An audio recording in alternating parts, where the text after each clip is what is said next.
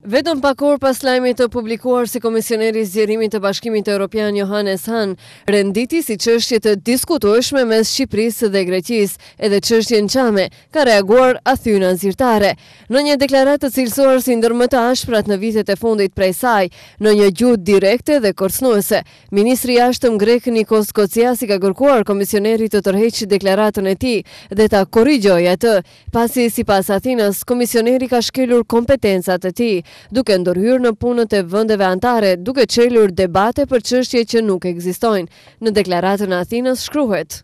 Deklarata e komisionerit Johannes Hahn është e pavërtetë dhe e papranueshme. Siç dihet, çështja çame është inekzistente dhe si e tillë, kurrë nuk është e pranuar si objekt negocimi, Midis qeverive të Greqisë dhe Shqipërisë, Komisioneri Hahn në përgjigjen e tij të gënjeshtërt tregon se nuk ushtron rolin dhe detyrat e tij në bazë të parimit të asnjanësisë, në mënyrë që të avancohet interesi i përbashkët i Unionit, siç parashikohet në nenin shtatëmbëdhjetë të Konventës së Lisbonës,